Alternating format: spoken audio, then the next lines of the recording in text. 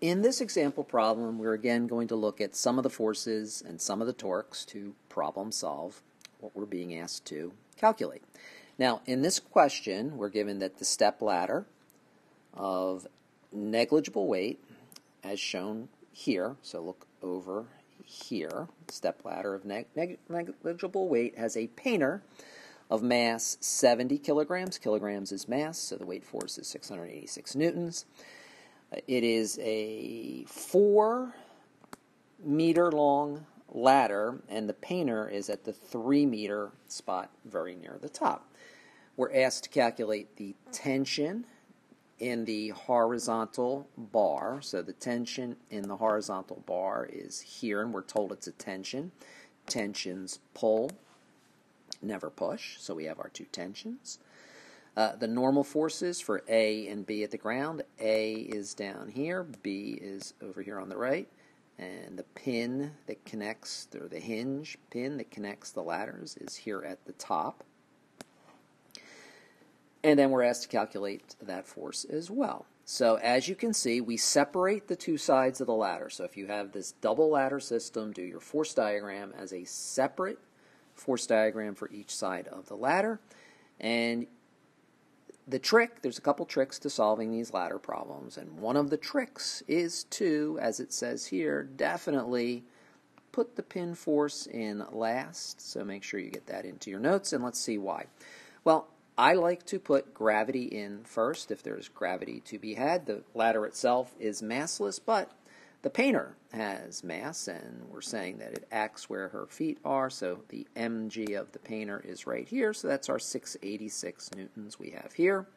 Again, we said tensions pull, never push, so get your two tension forces in. Now, we're told there's no friction on at the floor. So we're not going to put in a friction left to right, but of course the ladders are not sinking into the floor. So we need a normal force pushing up here on the right side, and of course we then need the normal force on, or on the left side, and then the normal force on the right side as well. So if we look at this force diagram, both sides of the ladder, in terms of just the forces, we can see that now we can address the pin force because it's a statics problem. Sum of the forces, sum of the torques equal zero. This ladder is not moving. So let's just look at the left-hand side first. So we have 686 down. We have a normal force up, so those two could balance. But here we have a problem. We have the tension to the right, so the pin force has to have a force to the left, and then action-reaction pair is going to give us the same force value to the right. And the pin force now has, uh, is fine in balancing the left side. Let's take a look at the right side. Well, the right side, we are okay. We're, we're okay with our left to right, the tension to the left.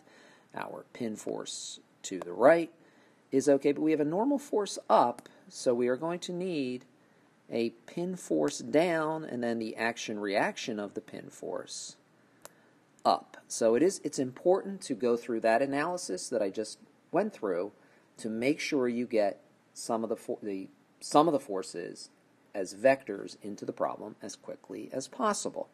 So let's go and see then what our force diagram looks like with everything drawn in.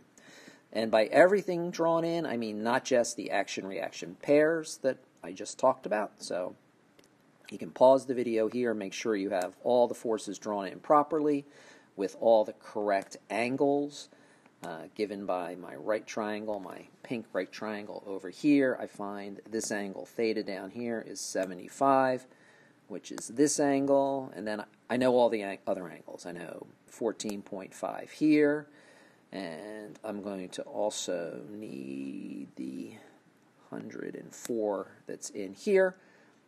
But pause and get that, and then let's go and see how to solve this problem to completion.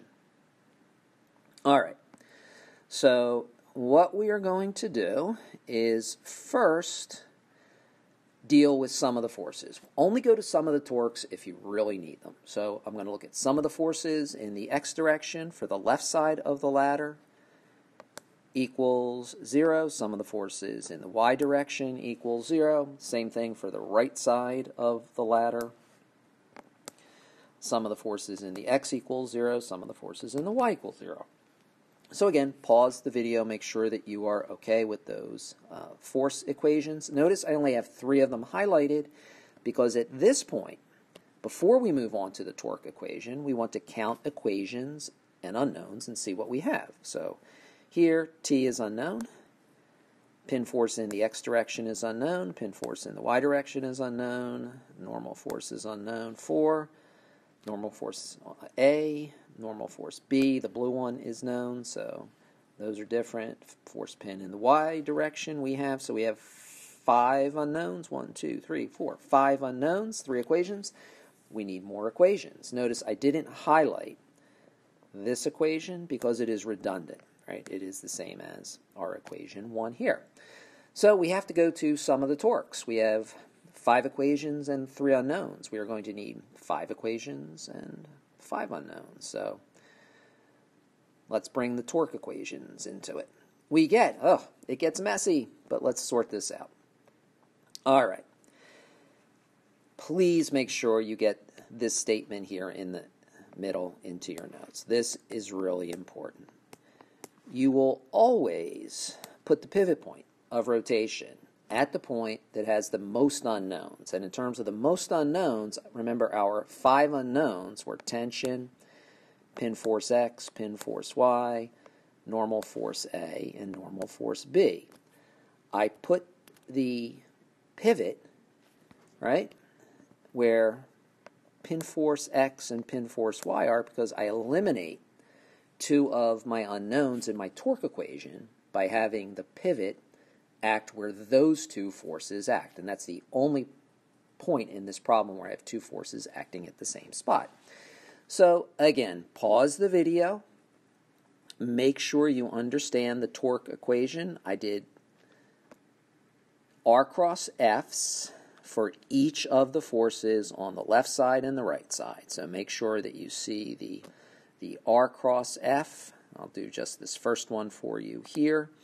If I'm going to take the 686 and take the torque generated by that 686 newtons about the pivot point, my R vector goes from the pivot to where the force acts, but I slide it so that they go from a common origin.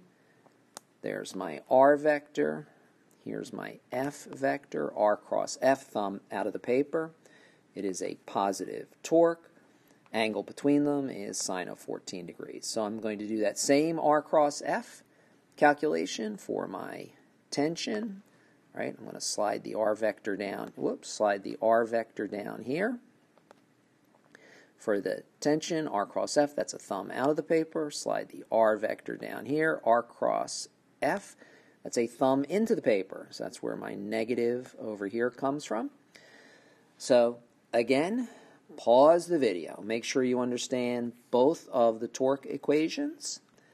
Go through the five equations, five unknowns, plug it into our 5 by 6 matrix, and confirm that you do indeed get the correct answers that I have down here at the bottom. So this is about as complicated and about as hard as any problem uh, you would ever have to answer in this course. So take the time, pause the video, spend as much time as you need with it, ask me questions in class uh, when we meet to go over it, and um, don't leave any stone unturned. Make sure you understand it completely.